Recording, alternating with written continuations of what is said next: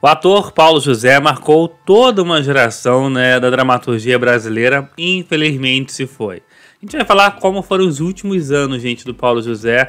Ele enfrentava o mal de Parkinson, mal conseguia andar, mal conseguia falar, mas tinha muito carinho da sua família inteira. Já já os detalhes para você. Antes eu lembro, prazer, eu sou o Fernando Borges, esse aqui é o TV News no ar. Para se inscrever aqui no canal é fácil e rápido. Para isso, basta você clicar no famoso botãozão vermelho da inscrição.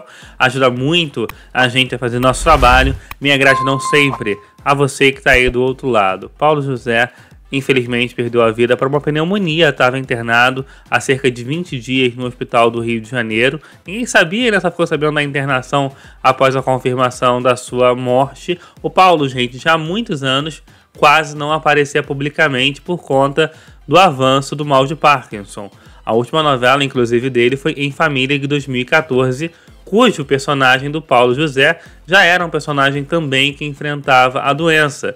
E nesses últimos sete anos, né, tinha aí um certo mistério sobre como é que estava o Paulo José. Apesar de que, frequentemente, né, a família do Paulo divulgava as vezes fotos com ele, mostrando a, a tentativa dele se locomover, mas como eu disse, ele mal conseguia andar, tinha dificuldade de fala muito grande, e conforme foi avançando o mal de Parkinson com a idade do Paulo José, isso foi se acentuando, como mostra essa reportagem publicada pelo site TV Prime e assinada pelo Jean Marangoni. Claro, gente, a família do Paulo sempre teve ao seu lado, em datas comemorativas fazia questão de estar tá ali tirando foto, dando carinho para ele, e acho que é, é essa a lição que fica, de amar a pessoa que está ali próxima a você até o fim, e foi isso que a família fez.